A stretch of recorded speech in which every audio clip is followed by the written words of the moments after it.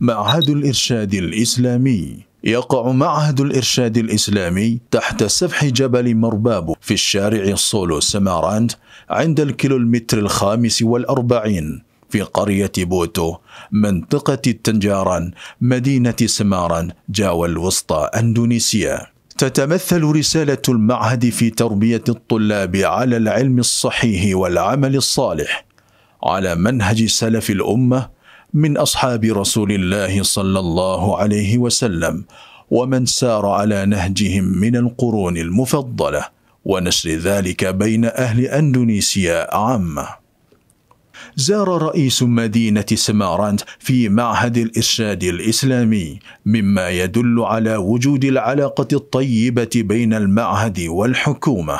رؤية معهد الإرشاد الإسلامي أن يكون المعهد من أفضل المعاهد الإسلامية القائمة على منهج سلف الأمة أهل السنة والجماعة. المرحلة الابتدائية لتحفيظ القرآن الكريم. تسعى هذه المرحلة في تخريج الخريجين الذين يحفظون القرآن الكريم.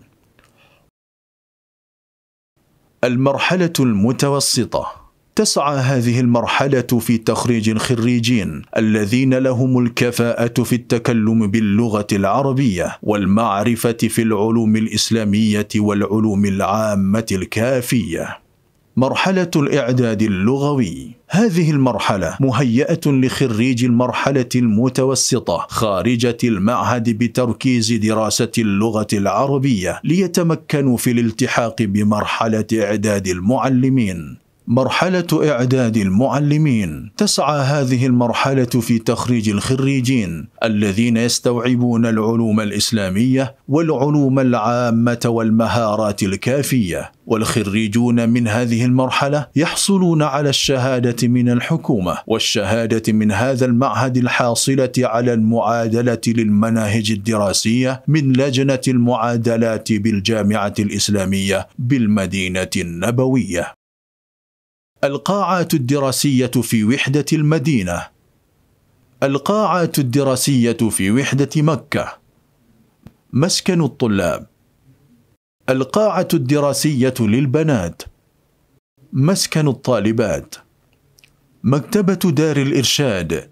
فيها كتب علمية أكثر من أربعة آلاف وأربعمائة وخمسة وأربعين عنوانا للكتب.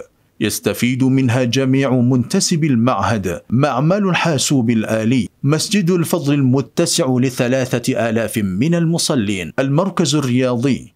فيها أربعة ملاعب. المسبح للطلاب المعهد. المطعم للطلاب والمدرسين والموظفين.